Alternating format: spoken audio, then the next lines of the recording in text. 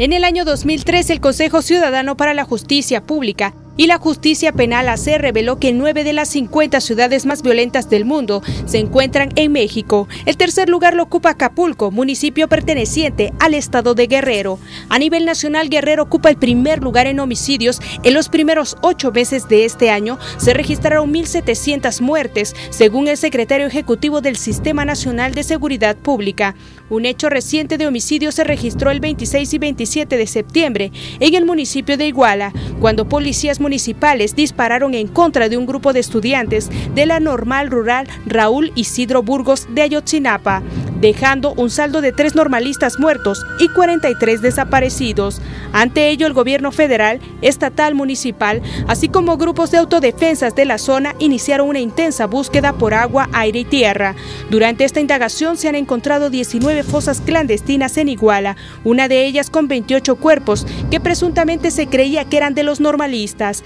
Días después, el Procurador General de la República, Jesús Murillo Caram, aseguró que estos cuerpos no pertenecen a los desaparecidos. Este suceso provocó que miles de personas realizaran movilizaciones en diferentes entidades del país y a nivel internacional para exigir justicia y la presentación con vida de los 43 normalistas.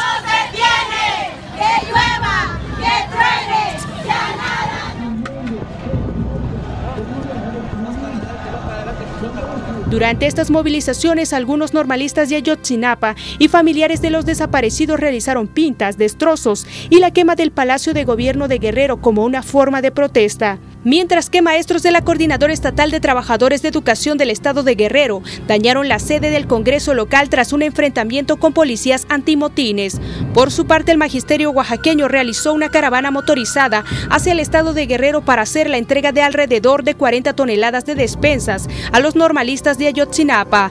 Cabe destacar que entre los estudiantes desaparecidos se encuentra el oaxaqueño Cristian Tomás Colón Garnica, mientras que Edgar Andrés Vargas, de 19 años, también oaxaqueño, resultó lesionado en el enfrentamiento del pasado 26 de septiembre.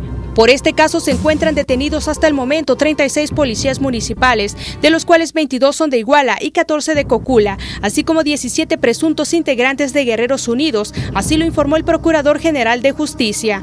Además, los familiares y compañeros de los normalistas se reunieron con el secretario de Gobernación, Miguel Ángel Osorio Chong, y con el Procurador General de la República, Murillo Caram, quienes les informaron sobre los avances de la investigación y las líneas que se están siguiendo. Sin embargo, los resultados no han sido satisfactorios, pues a más de 25 días de estos hechos se han dado a conocer diversas versiones. Una de ellas es la del sacerdote Alejandro Solalín de Guerra. Reconstruyendo las, las cinco, porque son cinco, dije cuatro, no son cinco informaciones que yo tengo, son cinco.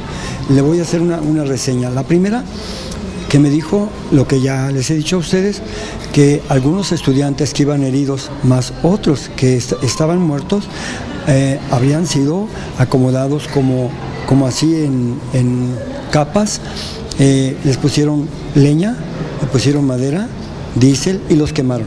Esto ha provocado que estudiantes, profesores, activistas y la sociedad civil continúen con movilizaciones en todo el país para exigir que se esclarezca el caso. A su vez, los familiares mantienen la esperanza de su pronta aparición. Con esta estrategia en la investigación, la Procuraduría General de la República ofreció una recompensa de hasta 1.500.000 pesos a quienes aporten datos que ayuden a la localización de los normalistas y el mismo monto a las personas que den información que lleve a la identificación, localización, detención o aprehensión de los probables responsables. En su último informe, Murillo Caram señaló a José Luis Abarca Velázquez, alcalde de Iguala, a su esposa María de los Ángeles y al director de Seguridad Pública, Felipe Flores, como responsables intelectuales de la desaparición de los normalistas, a quienes se les vincula con el crimen organizado y se encuentran prófugos de la justicia.